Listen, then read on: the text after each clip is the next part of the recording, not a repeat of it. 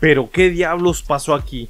Todo esto fue un efecto dominó en el equipo de Valenzuela y de MR11. Todo está color de hormiga y aunque yo lo decía nadie me creía. Me dijeron que estaba equivocado porque yo había dicho que se iban a dejar de seguir hasta en Instagram y a pocas horas de subir mi video se dejaron de seguir. Como le dije yo tengo mucha información, muchas personas cercanas a ellos me pasan la información para yo subirla. Incluso tengo conversaciones en Instagram con protagonistas de estos problemas, no solo con Alfredo Valenzuela sino también con gente cercana a Juanito y los achichincles de Alberto Orozco. Así que mucha de la información que tengo es parte cierta y otras son deducciones que tengo. Y bueno, les recomiendo que vean todo el video porque hasta una película les voy a recomendar para que entiendan qué está pasando. Y bueno, ¿cómo empezó todo esto? Yo acababa de subir el video donde hablaba de los tweets que hizo Alfredo Valenzuela y la posible molestia que tiene con que Juanito sea más libre. Comenté que no se daban likes y que de pronto se iban a dejar de seguir cuando surgiera algo más grande. Y en menos de una hora ya se habían dejado de seguir. Me dijeron loco, pero ya ven, yo sabía que esto se iba a poner feo. Y bueno, poco después Alfredo Valenzuela subió su video de la temporada 2, donde dijo muchas cosas, cosas que a todos nos sacaron de onda, aunque fueron verdades a medias, porque dijo poco de mucho. Aclaró el tema de Andrea Navarro, de que ya no andaba con ella, de que era libre de andar con quien ella quisiera y que ya no la molestaran, dando a entender que estuvo detrás de ella por mucho tiempo hasta que Andrea Navarro le dijo hasta aquí. Y aunque Alfredo Valenzuela le dolió mucho, tuvo que aceptar y entender que las relaciones se acaban, pero él estaba aferrado porque fue una relación muy pública, ya le importaba mucho el que dirían las personas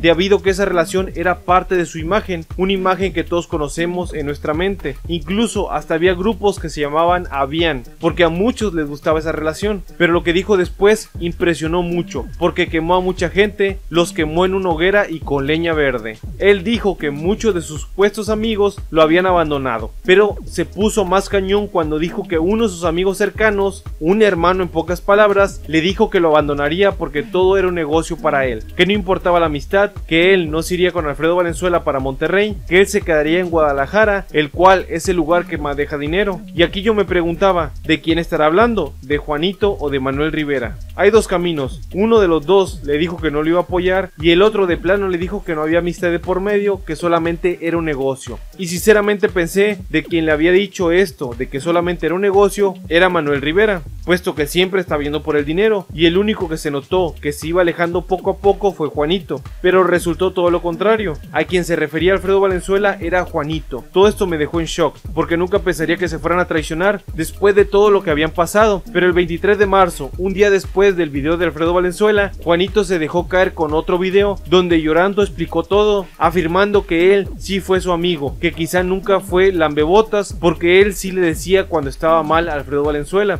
Y la verdad, tiene razón Juanito en esto, porque cuando eres amigo de alguien, tú tienes la obligación de decirle las cosas como son y cuáles les van a beneficiar y cuáles le pueden perjudicar. Además que dijo Juanito que Alfredo Valenzuela siempre hacía su desmadre y él siempre se hacía pasar por bueno y que nadie decía nada de esto por miedo, que muchas personas siempre han querido hacer un video así, pero que nadie se animaba por el mismo aspecto, ya que iban a recibir mucho hate por parte de sus seguidores. También Juanito dijo algo muy fuerte que explica todos los problemas que hubo con otros youtubers, incluso con los youtubers de Culiacán, y simplemente porque muchos no querían participar en las tonterías de Alfredo Valenzuela. Y Juanito comentó esto porque ha salido con otros youtubers donde él dice que él no ha tenido problema con ellos y que incluso ha intentado arreglar las cosas. También comentó sobre el tema de que cuando él fue a apoyar a Alfredo Valenzuela, Alfredo ya no quiso regresar a Guadalajara y le comentó que tampoco regresara Juanito, que ahí ya no los querían. Y es aquí donde dice Alfredo Valenzuela que Juanito no lo quiso apoyar, pero Juanito no se iba a ir de un lugar donde apenas iba a empezar una vida junto a su novia, y Alfredo quería que dejara todo a un lado para que estuviera con él sobándole el lomo, cosa que después de echarle miedo a Juanito regresó a Guadalajara, donde se supone que no los querían.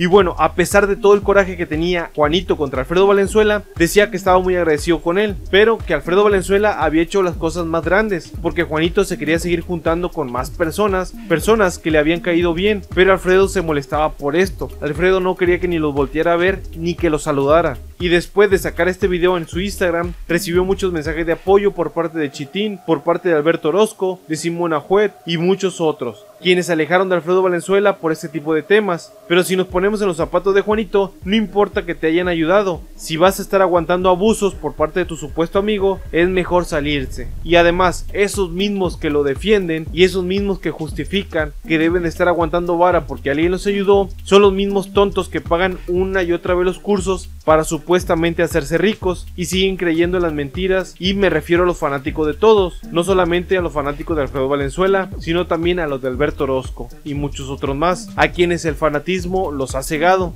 Pero eso no fue todo, después de esta publicación toda la noche estuvieron atacando a Manuel Rivera, también vinculándolo con el tema de la traición, incluso le mandaban mensajes donde decían, ya vimos que eres uno de los falsos, pero lo que me dio mucha risa fue la forma en la que contestó Manuel Rivera, donde decía, falsos mis dientes, mi lealtad es real y mi apoyo siempre estuvo en los peores momentos. Y aparte hizo un comentario refiriéndose a Juanito, donde decía, mis respetos a quien se acaba de animar a decir las cosas sin miedo y sin meterle de más. En pocas palabras, apoyó a Juanito y después de un momento lanzó una bomba de video donde saca a la luz muchas de las mentiras de Alfredo Valenzuela.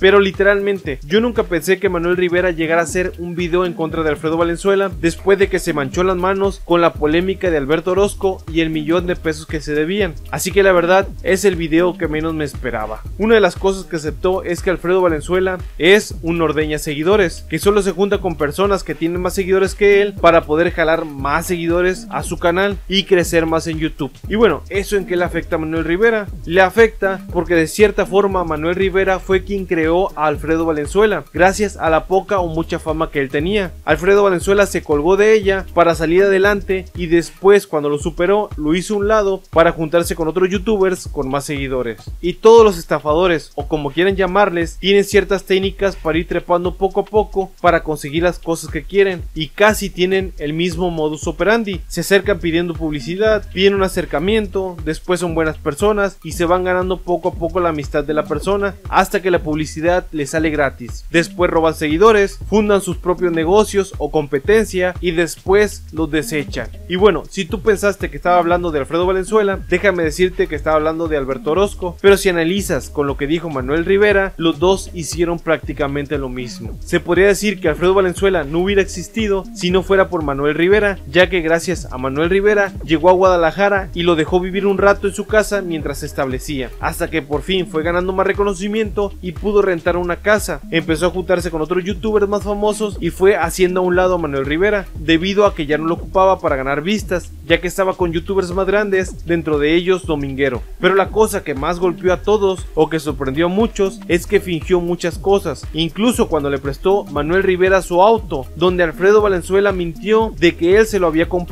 pero en realidad fue un préstamo donde Manuel Rivera sacrificó algo que él quería mucho y además que le costó millones de pesos, no unos miles.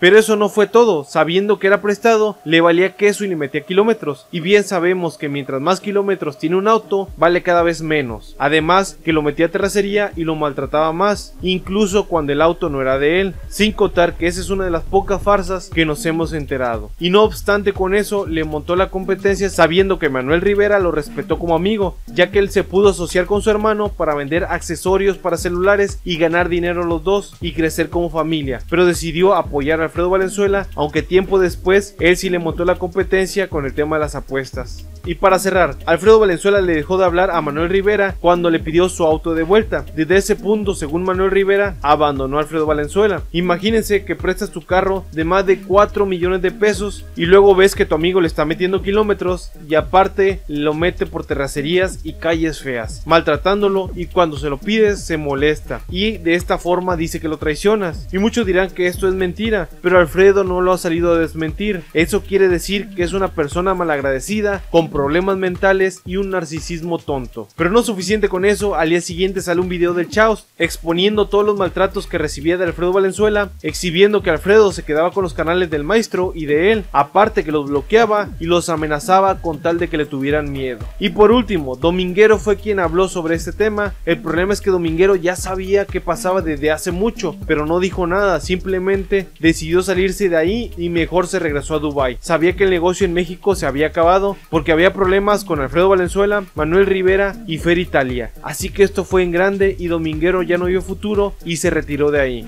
Y ahora, ¿qué podemos resumir con todo esto? Número 1. Es que estamos viendo que quizá Alfredo Valenzuela sí sea el problema de todo esto, porque no solamente es una persona, son más de 6 personas que están molestos con esta actitud, quien solamente es una persona que quiere sacar provecho y lucrar de quien pueda y todos podemos ver la molestia en Andreita, que por eso lo dejó, en Juanito, en Manuel Rivera, en Chaos, el maestro, en Thanos, incluso en quien nos advirtió de todo esto, que fue Alberto Orozco. Y es justo lo que pasó con Natanael cuando dijo que Obi golpeaba a las mujeres. Nadie le creyó hasta que pasó y se hizo público. Lo mismo está pasando aquí.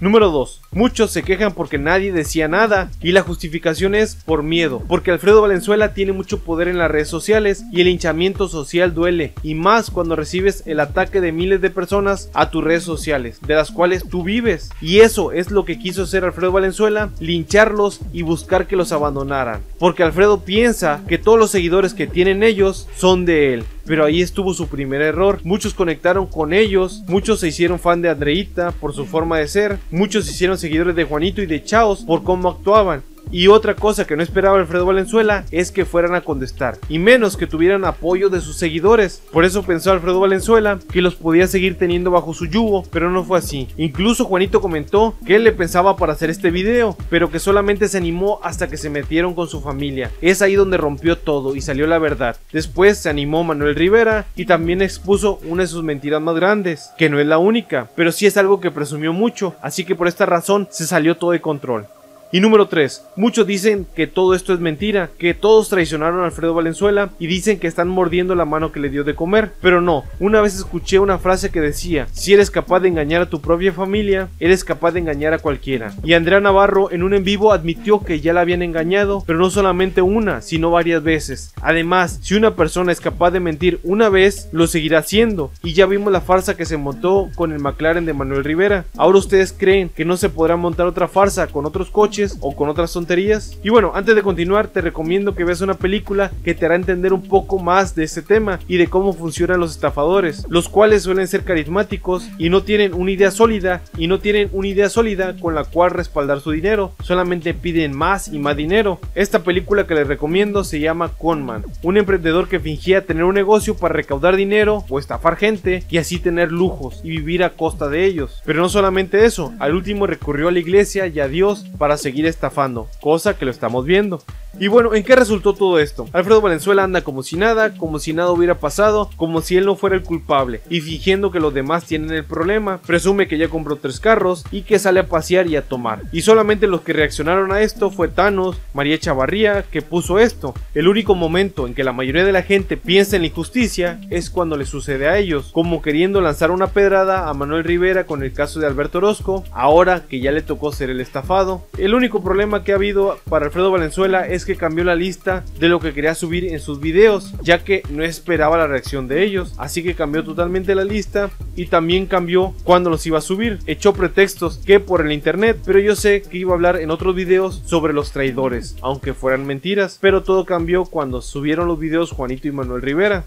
Y también Alberto Rosco se metió en el mame compartiendo las capturas de pantalla de las personas que le habían dicho que sí tenía razón. Y miren, por último, muchos de ustedes deciden creer en ciertas personas, pero el fanatismo no ayuda en nada. Por fanatismo se crean las peores injusticias. Recuerden no confiar en nadie. Si a veces se tiene que desconfiar hasta de la propia familia, ¿por qué no vas a desconfiar de un desconocido? A ver, y no defiendo a Manuel Rivera ni a Juanito, mucho menos a Alberto Orozco. Todos están cortados con la misma tijera y muchos ya hemos visto esto hasta con Manuel Rivera, quien ya ha fregado gente, como con el caso del banano y el carro amarillo.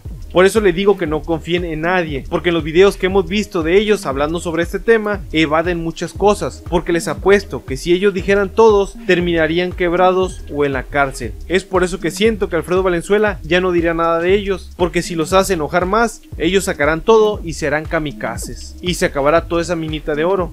Todos tienen cola que les pisen y están tan enredados que ninguno puede acabar con el otro sin caer tan bien. Como consejo le diré que no se fanaticen. Las peores personas en el mundo son aquellos que terminan utilizando a Dios como su último recurso para aumentar su credibilidad, ya sean políticos o youtubers. Por eso le recomiendo la película de Conman. Y bueno, esto es todo por el video, esta es toda la polémica, duró mucho el video, hasta me cansé de hablar, pero aquí tienen un poquito el resumen. Vamos a hablar más de este tema después. Espero el otro mes ponerme al corriente y subir muchos videos. Y bueno, nos vemos hasta la próxima.